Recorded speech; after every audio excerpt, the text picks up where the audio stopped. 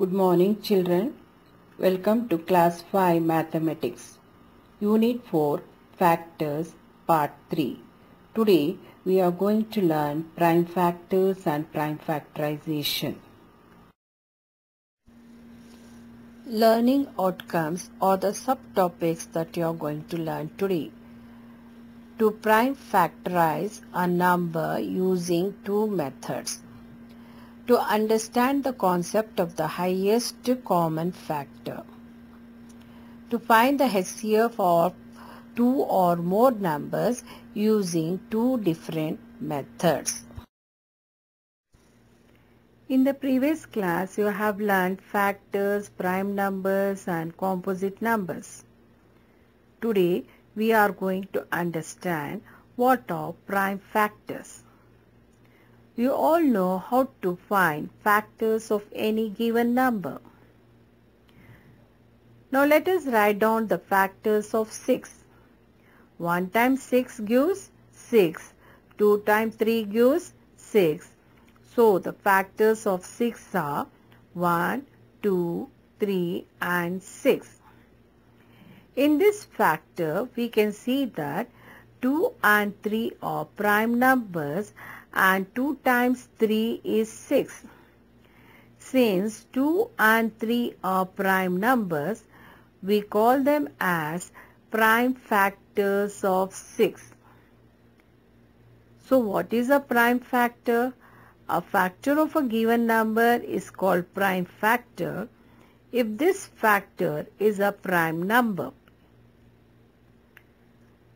To find prime factors, we can use a factor tree that helps to split each composite number apart into its prime factors. Let's do, for example, let's find the prime factors of 20 using factor tree. We split 20 into its factors until we can't split anymore. Now we can use any two factors to split 20. We know 2 times 10 is 20, so I split down 20 as 2 times 10. Here 2 is a prime number, I circle 2. And 10 is composite, I should split down. So in the next step, I bring down this prime number as it is and split down 10 as 2 times 5. Here 2 and 5 are prime numbers, so I circle both of them. I have no more composite number left, so now I know I have found all the prime factors of 20. So prime factors of 20 are 2, 2 and 5. Now here I have used different ways to split 20. Here I split down 20 using 4 times 5 as 4 times 5 gives 20. Here 4 is composite and 5 is prime. I circle 5.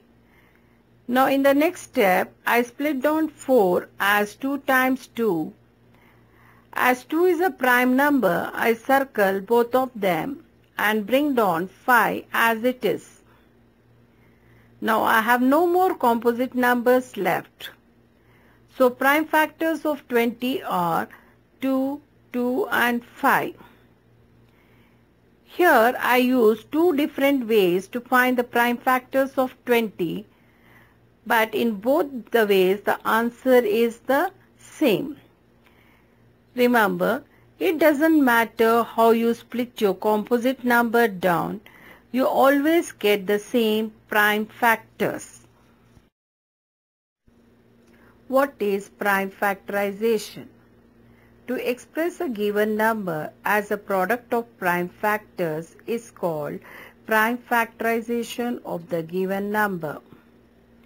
All composite numbers can be expressed as a product of their prime factors. There are two different methods to find the prime factorization of a given number. Method 1 Factor tree method. In this method, we factorize a composite number till we get all its prime factors. For example, let's factorize 24 and find its prime factorization using factor tree method.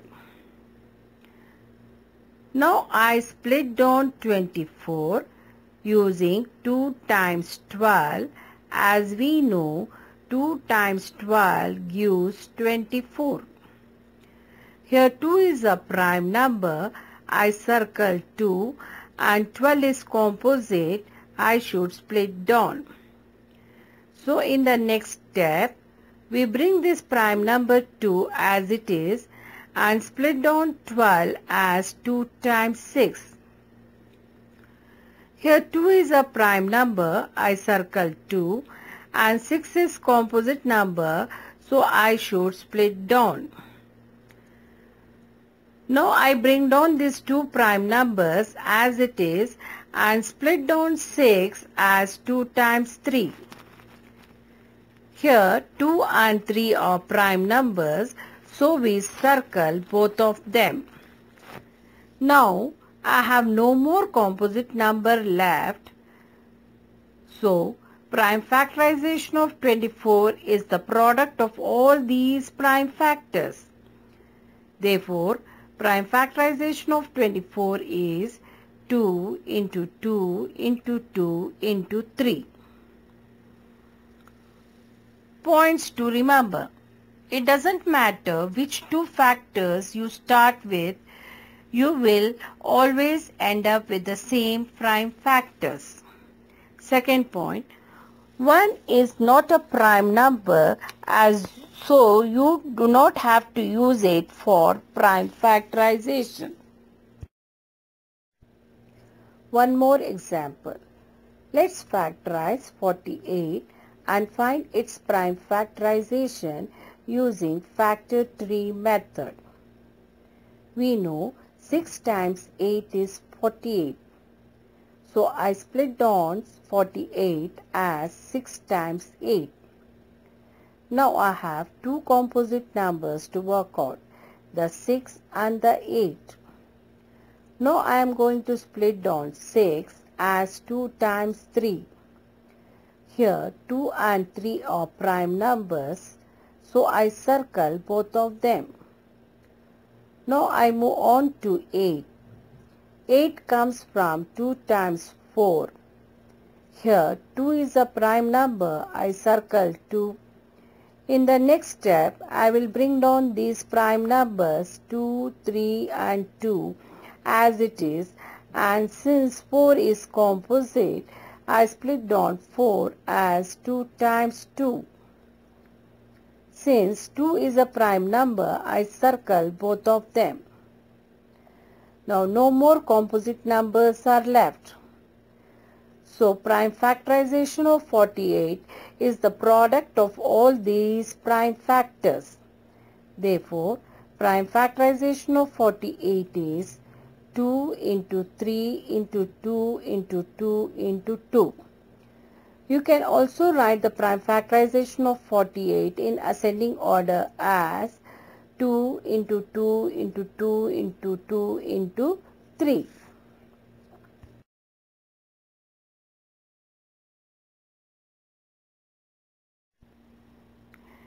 Now the second method is the division method. In this method, we start dividing the given number by the smallest prime number and continue the division by prime numbers till we reach 1. Before we start, it's important to remember the smaller prime numbers since we use only smaller prime numbers to divide to find the prime factorization of any given number. Here I have shown prime numbers between 1 and 20. Okay, let's start. Let's find the prime factorization of 16 using division method. This division is called upside down division. To express 16 as the product of prime factors, we have to begin with the smallest prime number that divides 16. As the number 16 is an even number, it is divisible by prime number 2. We write 2 to the left of 16 and on dividing 16 by 2 we get 8 which we write below 16. Now we have to divide the quotient 8 with the smallest prime number. As 8 is an even number, it is divisible by a prime number 2. On dividing 8 by 2, we get 4 which we write below 8 and again divide 4 by 2. We get 2. We write 2 below 4. Now here 2 is a prime number and we divide by 2 itself. So 2 divided by 2 gives 1. Now we write 1 below 2. Now we got 1 here so we stop dividing. Now we write the prime factorization of 16 as the product of all the prime numbers that we have on the left side of the standing line. Thus, prime factorization of 16 is 2 into 2 into 2 into 2.